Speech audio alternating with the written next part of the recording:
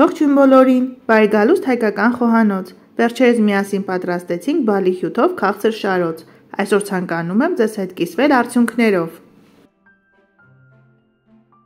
Տեսանյութի մեջ նշել էի, որ քաղցր շարոցները չորանում են 10-ից 12 օրվա ընթացքում, սակայն բարենպաստ եղանակային պայմաններում դրանք չորացան 7 օրվա ընթացքում։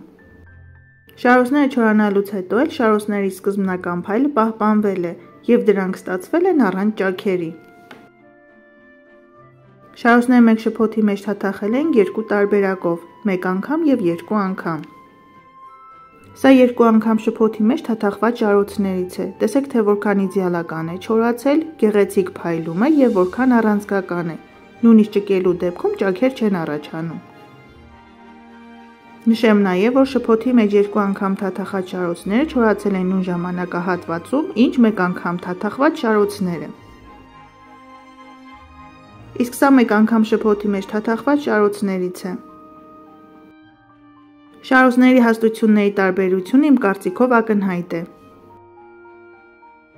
Կախված այն բանից, թե ինչպիսի քաղցր շարոցներ եք սիրում, շարոցներ են կղմեք շփոթի մեջ մեկ կամ երկու անգամ։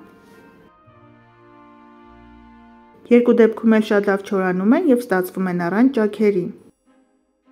Ճիշտ իդեալական շփոթի պատրաստման մանրամասն տեսանյութը կթողնեմ նկարագրությունների եւ մեկնաբանությունների բաժնում։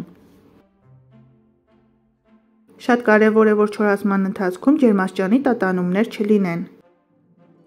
Եթե օդի ջերմաստիճանի կտրուկ տատանումներ են լինում, այդ դեպքում շարոցները կարող են ճաքել։ Մեր շարոցները ոչ միայն գեղեցիկ փայլ ունեն, իդեալական չորացել են, ստացվել են առանց ճաքերի, այլ նաև անչափ փափուկ են։ Ահա տեսեք, թե որքան փափուկ շփոթ է ստացվել չորանալուց հետո։ Շարոցները նույնիսկ ձեռքերին չեն կպչում։ Շատ կարևոր է շարոցները չորանալուց հետո նաև ճիշտ պահպանել, որպեսզի դրանք չնմանվեն ռեզինի։ Որպեսզի պահպանենք շարոցների փափկությունը, դրանք փաթաթում ենք սննդային թաղանթով եւ տեղավորում ենք սառնարանում։ Շարոցները կարելի է պահել սառնարանում 3-ից 4 ամիս, եթե իհարկե հնարավոր է այդքան երկար պահել այս համեղությունը։ Քանի որ շարոցները բավականին փափուկ են ստացվել, դրանք շատ հեշտությամբ կարելի է կտրել եւ գեղեցիկ ձև տալ եւ ստեղծել գեղեցիկ կոմպոզիցիաներ շարոցներով եւ չրերով։ Այսօր ցանկացա իմ մշտական հետևորդների, ինչու՞ չէ նաև նոր հետևորդների հետ կիսվել շարոցների պատրաստման արդյունքով։ Շփոթի պատրաստման մանրամասն բաղադրատոմսը կգտնեք տեսանյութի ներքևում։ Այսօր էլ այսքանը։ Ցտեսություն, կհանդիպենք հաջորդ տեսանյութերում։